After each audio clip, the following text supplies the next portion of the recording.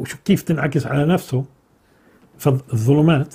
بعدين ال- الإنسان خلق دائما باحث عن الحقيقة فهو دائما يطارد إيش؟ الظلمات في محاولة إيش؟ إنه يعل- يعلم. هو مش معقول يعني خلق الإنسان يعلم كل شيء. لا هو كله آه نيجي لموضوع الظلم.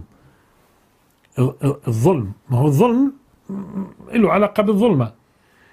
اذا هو ال- ال- الظلم في حد ذاته لما تضع الأشياء في غير موضعها. ونعطي أمثلة كيف ممكن أنا أضع الشيء في غير موضعه.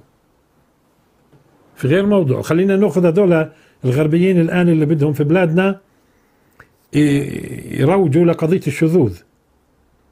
هو الله خلق الذكر والأنثى مشان في النهاية. إيه، وطبعا نتج عن هذا الأبناء والأحفاد والحضارات وكذا وتكاثر البشر وبقائهم واستمرارهم والخلو من الأمراض والسكن النفسي والتفاصيل كلها وراحوا لي للشذوذ اللي هو وضع الشيء في غير موضعه. مش هيك الله خالق؟ شو بنتج عنه على فكرة؟ ظلمة. أيوه بنتج عنه ظلمات كثيرة. تنتج عنه أمراض. اضطرابات نفسية.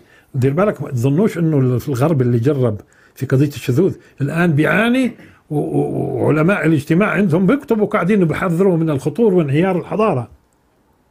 بندخل في ظلمات. تمام؟ ليش؟ لأنه ظلمنا. شو يعني ظلمنا؟ وضعنا الشيء في غير موضعه تعديا. هذا من بعض المعاني المذكورة في اللغة.